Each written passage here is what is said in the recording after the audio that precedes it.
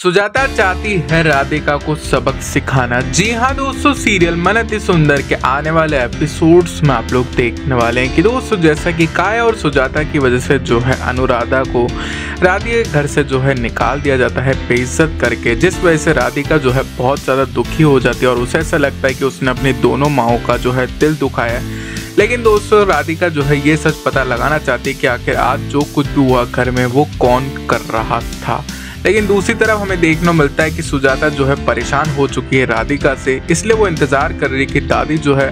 जल्द से जल्द घर आ जाए ताकि वो राधिका को जो है सबक सिखा सके। तो दोस्तों, अभी देखना है इंटरेस्टिंग कि आखिर क्या करती है सुजाता दादी के आने के बाद। कमेंट बॉक्स पर बताना, तब तक ले गुड बाय।